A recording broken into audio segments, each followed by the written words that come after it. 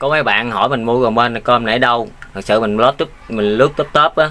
Mình thấy người ta bán á mình mua về dùng thử. Tại công việc của mình á là làm đem cơm trưa theo á. Nhưng mà mấy gà mình xài rất là ok luôn.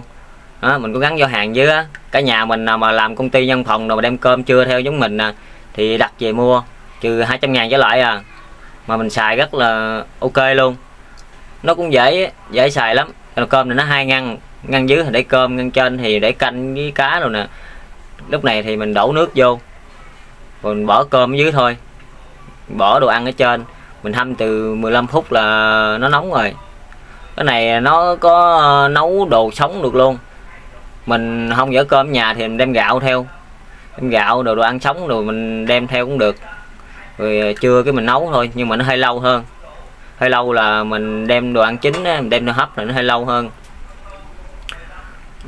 Cái này mình hâm chừng 15 phút là nó nó nóng rồi đó. Cái này 11 giờ trưa rồi nè mình dọn cho mình ăn. Thì à, các bạn có yêu quý mình thì mình có ờ, nói gì sơ sót mong các bạn thông cảm cho mình nha. Cho mình một follow và một trái tim nha các bạn. Cảm ơn các bạn rất nhiều luôn.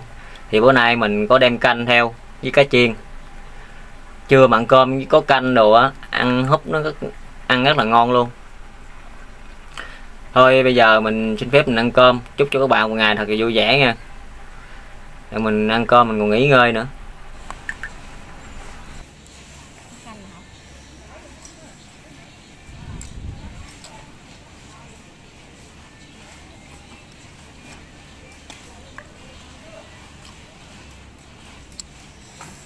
Thank you.